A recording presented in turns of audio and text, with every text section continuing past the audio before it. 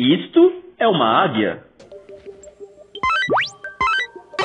Isto é uma galinha.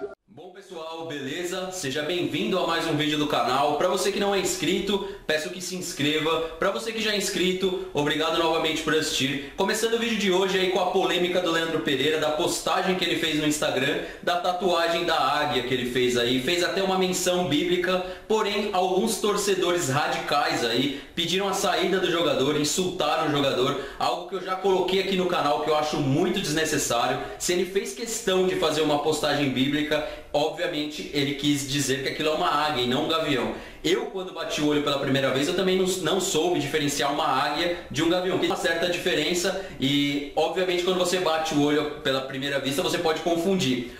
É, outra coisa que eu queria colocar aqui, torcida organizada vai pegar no pé sim, a gente entende isso, é normal. Até pela rivalidade, nós temos o porco aí como mascote adotado e o lado de lá tem o gavião. Porém, é uma águia, galera. Então, eu acho que alguns são muito radicais aí é, em alguns comentários que eu acho que é até irrelevante e desnecessário pouco que eu olhei ali, ele, ele chegou a apagar alguns comentários porque tinha muito mais crítica, não, ou não sei se ele ou alguém que toma conta da conta dele. Eu acho desnecessário, entendo a revolta por parte da torcida organizada, porém volto a repetir, acho desnecessário porque se é a vontade do jogador, ele poderia ter escolhido outros desenhos, sim, mas se é a vontade do cara, quem que sou eu para falar a respeito disso? O importante é ele fazer gols, ainda não fez gols aí com a camisa do Palmeiras e não vai ser amanhã, provavelmente não vai começar a partida. O Cuca deve começar a partida com o Eric no ataque e com Rafael Marques aberto pela direita.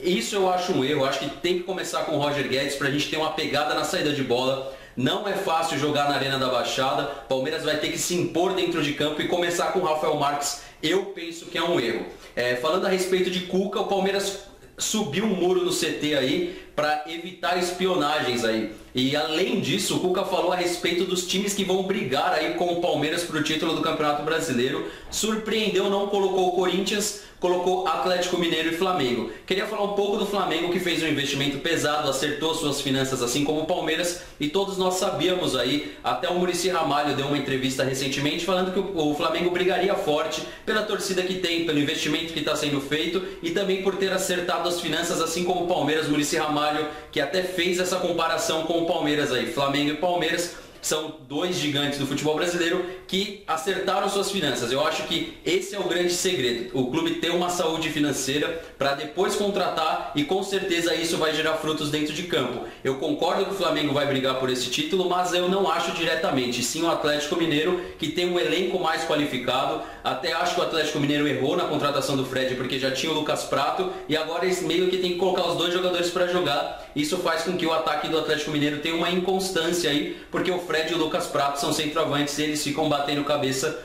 a todo momento. Espero que continue assim e o Palmeiras precisa aí definir os substitutos, né? Porque amanhã a gente tem essa grande dúvida, eu venho colocar aqui no vídeo de pré-jogo. Espero que o Cuca entre aí com uma equipe muito próxima daquilo que a gente viu na partida passada, se bem que temos desfalques a gente quer falar sobre isso no vídeo de amanhã. Enfim, galera, só tô colocando porque algumas pessoas pediram para eu falar a respeito disso. Eu acho uma tremenda babaquice criticar esse tipo de atitude do Leandro Pereira. Poderia ter escolhido uma outra tatuagem para fazer? Sim, mas essa era a vontade do cara, ele fez uma menção bíblica, enfim. Eu acho que de ignorância, né? É, enfim, isso eu deixo por vocês. Se vocês pensam diferente, deixe aqui nos comentários. Para você que não viu a postagem ainda, vou deixar o link também na descrição. Para você que não é inscrito do canal, peço que se inscreva. Para você que já é inscrito, obrigado novamente por assistir. Amanhã teremos vídeo pré-jogo e pós-jogo também. Tamo junto, até a próxima e valeu!